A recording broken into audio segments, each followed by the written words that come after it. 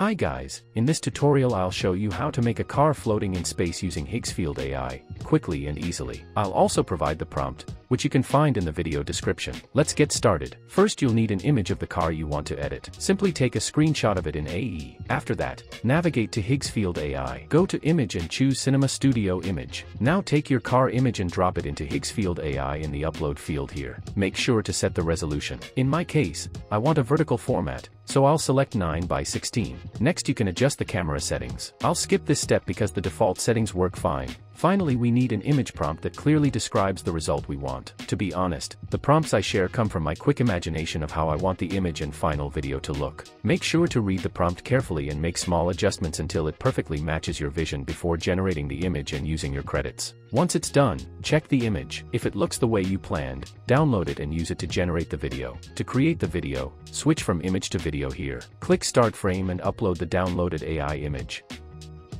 Now copy the video prompt and paste it into the prompt field.